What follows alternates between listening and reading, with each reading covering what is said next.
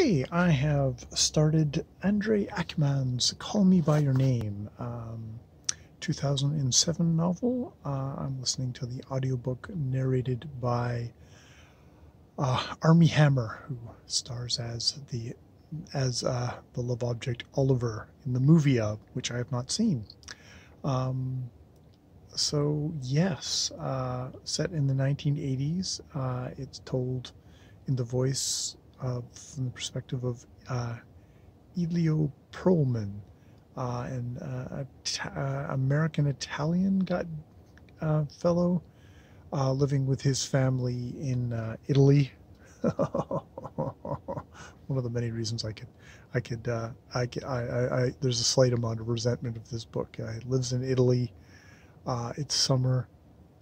his father is a professor, and um, every every summer they have uh, a new kind of house guest, uh, a visiting scholar who helps his father with a bit of his stuff, and then gets the kind of rest of the time of his own to kind of um, to work on whatever scholarly work he's working on. And uh, yes, Oliver shows up. Oliver, beautiful, handsome, strapping Oliver of his uh, red bathing suit uh, shows up.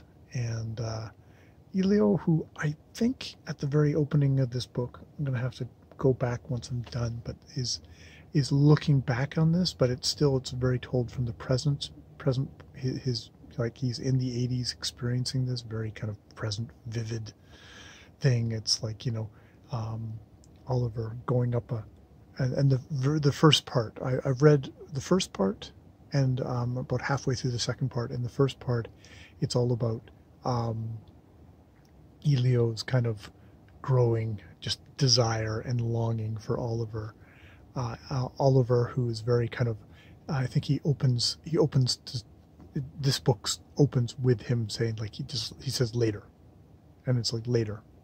It's like, is it dismissive? Is it is it a promise? Uh, it sounds like an insult. Uh, that's Oliver's kind of very kind of curt, curt tone, and he'll get these kind of icy stares, and uh, and Elio will kind of try and kind of do his own kind of trying not to. Elio, who is very uh, very precocious, very uh, very uh, intense himself. Uh, this um, a part of me wonders if this is slightly uh, a uh, older man conjuring up kind of a kind of a dewy 17 year old sexy guy who's having this longing for this 24 year old sexy guy. And you know they're they're having these intense kind of they, they know their literature they know which i mean i guess he's he's he's the kid of a professor. So you know it's i, I remember knowing kids who were like had professors for for for parents and and always being slightly um, annoyed with them because they they they by osmosis knew a hell of a lot more than I did. So yet another reason to kind of like be slightly um so I'm I'm you know when you sink into Elio's voice, it's like ah you're kind of swept up with it. There's Oscar um, on a ladder getting apricots and it's like and, and he tosses an apricot to uh, Elio and Elio's like I can't help but think it's like he's offering me his ass his beautiful cupped ass in that in the in those red trunks. The red trunks where we get to the very kind of pitch of his desire at the end of part one where he's he slips into his room and he nuzzles his those those trunks the inside of those trunks thinking about you know him in those trunks and then get getting the suit down and like just wanting to orgasm in them and just let, let him know that like i came i came in your stuff. Just like super super desire and and being convinced that uh, oliver is you know is going off and and screwing screwing all the all the women.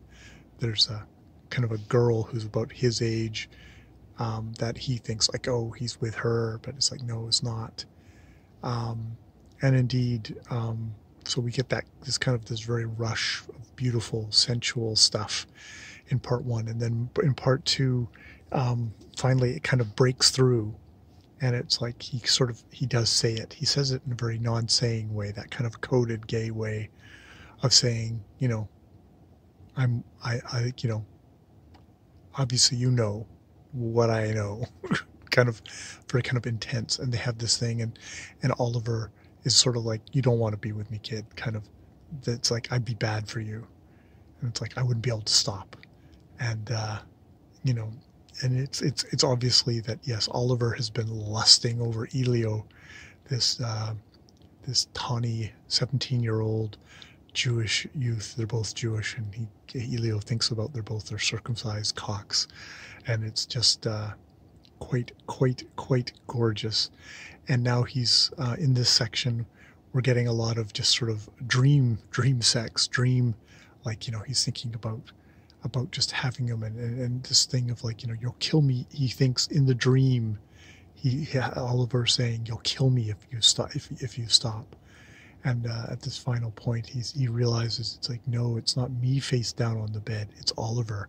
And i am it's like me receiving is so so so kind of passive and stuff like that. It's like i want the activeness of, of, of, of giving which is obviously we're talking about you know being being the, the inserter the inserter versus the uh, the receiver um, plunging himself into Oliver um, and so there's slightly the kind of the uh, this being the 80s you, you definitely get that kind of like it's not okay to be gay kind of thing even though his father he says is is liberal but he doesn't think he's that liberal like you know, Elio is sort of like just sort of sensing things out, and you got to sort of probably trust the kid there. Um, so it's a beautifully written book, beautiful, sensuous language.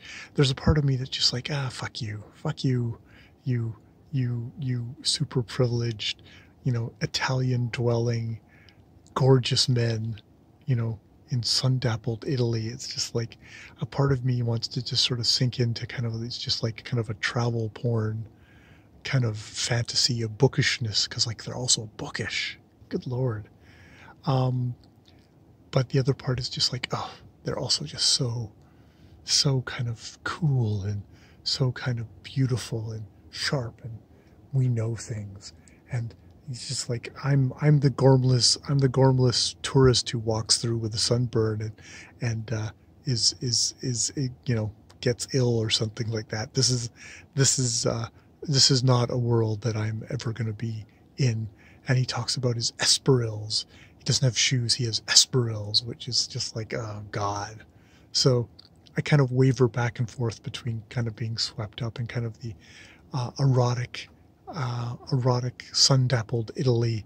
Uh, these two beautiful men, uh, well, one very beautiful young men, both of them young men to be.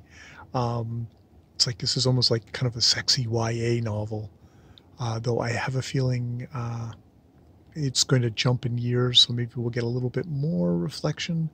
It'll get a little. It'll be interesting to see if because like Elio at this point, while a precocious seventeen-year-old is definitely a 17 year old obsessed obsessively in love um, i know i know i think even i think even before i learned it he is a, a student of proust somebody who the uh, andre Aciman is someone who, who who has steeped himself in proust and there's definitely uh, a gay two two gay men um, having a torrid love affair and the longing and the and the just kind of that unspokenness and and all that is is definitely uh, there's a Proustian thing there. There's also just that kind of fineness of fineness of taste, fineness of sensibility, which is uh, slightly uh, slightly Proustian, uh, I guess.